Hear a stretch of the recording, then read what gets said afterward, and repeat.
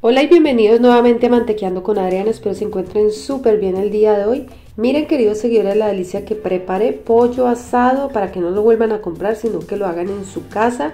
Es muy fácil y delicioso, así que comencemos con la preparación y al final les dejaré las cantidades y sus ingredientes. Lo yo voy a hacer queridos seguidores cuatro pollitos de estos, aquí se consigue el pollo muy pequeñito, miren cómo son de chiquiticos, pesan solamente 2 libras cada uno, así que yo voy a hacer cuatro en total estaríamos haciendo 8 libras de pollo. Si ustedes quieren pueden dividir la receta en la mitad para que hagan solamente 4 libras, sea en dos pollos o en uno, como ustedes quieran. Vamos a agregar en un recipiente 3 cucharadas de sal aromatizada, que es la que les enseñé a preparar, que es una sal que tiene finas hierbas, 2 cucharadas grandes de paprika, una cucharada grande de ajo en polvo, también vamos a agregar una cucharada de cebolla en polvo. Esta es una mezcla que es muy fácil de preparar, queridos seguidores, y le va a dar un sabor exquisito a este pollo.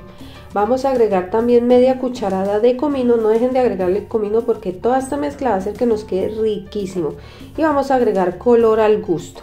También vamos a agregar de 4 a 5 cucharadas grandes de salsa de soya. Consigan, queridos seguidores, siempre se los digo, una salsa de soya de buena calidad, que sea oscura, que sea espesita, porque hay unas que son aguachentas y eso es como no agregarle nada, así que consigan una salsa de soya de buena calidad.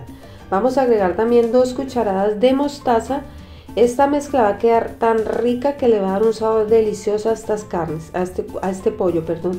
Vamos a agregar dos cucharadas de aceite. Yo estoy agregando aceite achotado, pero ustedes pueden agregar aceite normal que tiene en la cocina. Esta mezcla con aceite va a hacer que nos quede de una consistencia eh, que se va a pegar muy fácil al pollo.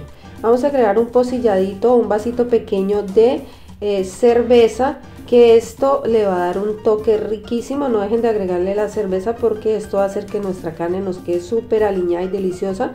No tengan miedo a agregar la cerveza si van a comer niños porque la cerveza o el licor se desaparece cuando las cosas se cocinan, así que no pasa nada. Agregamos también una cucharadita de pimienta que no se vio en cámara mezclar muy bien y listo. Ahora lo que voy a hacer es que voy a alinear los pollos. Como les dije esto alcanza para alinear cuatro pollitos pequeños o dos grandes. Si ustedes quieren lo pueden dividir en la mitad como les dije para que hagan menos pollo. Miren acá es muy importante siempre poner el aliño queridos seguidores por dentro del cuero porque hay veces la gente va a ser pollo y lo que hace es alinearlo solamente por encima, no le agregan el aliño por dentro, entonces el sabor va a quedar todo en la piel. Acá teniendo mucho cuidado de no romper la piel, le vamos a ir agregando este aliño que huele espectacular y como pudieron ver un aliño súper fácil de preparar. Miren, acá lo van a notar muy bien. Yo estoy aquí alineando solo dos, pero esta mezcla, como les digo, alcanza para cuatro.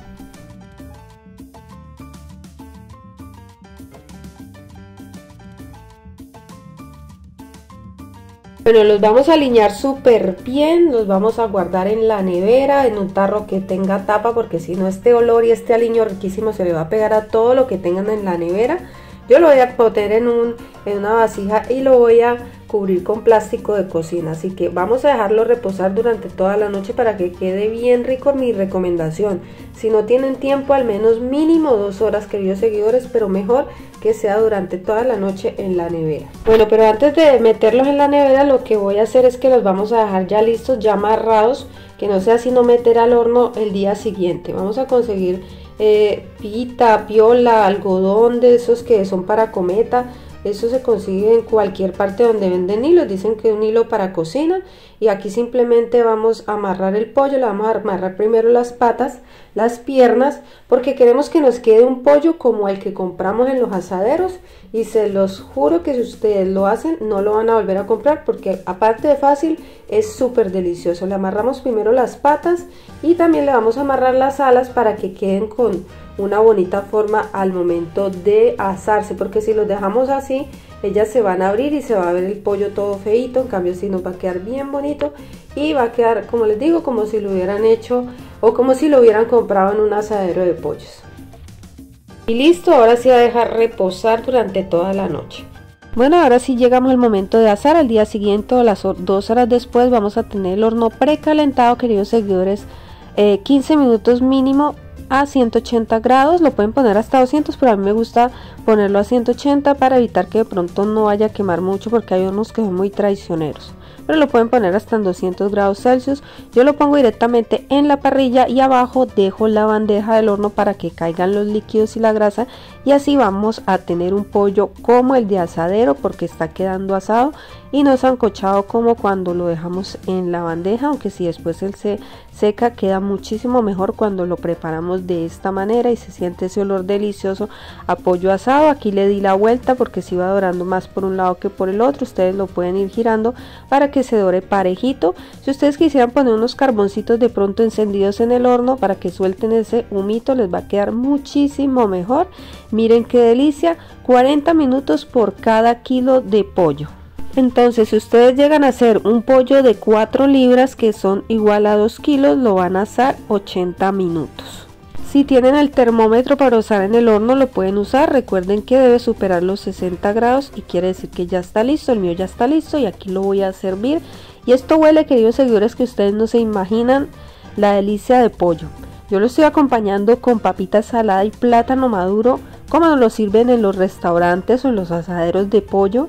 De verdad que si ustedes lo preparan les va a encantar esta deliciosa receta. Esta receta yo ya la había compartido hace bastante cuando inició mantequeando con Adriana y por ahí hay personitas que lo han preparado y les encanta. También pueden alinear el pollo así para hacerlo a la brasa. Queda riquísimo. Si no tienen horno pueden alinearlo con este aliño o pueden hacer la receta que tengo ya de pollo asado sin horno hecho en sartén les voy a dejar el video en la cajita de descripción y en un primer comentario por, por si no lo han visto si eres nuevo en el canal no te vayas sin suscribirte suscríbete porque sé que te va a gustar mucho el contenido de mantequeando con Adriana activa la campanita de notificaciones para que así no te pierdas ninguno de estos videos Recuerda dejarme una manito arriba, un corazoncito, lo que quieras. Y sobre todo para mí es muy importante Me despido, mandarles muchas bendiciones. Besitos, nos vemos en una próxima receta.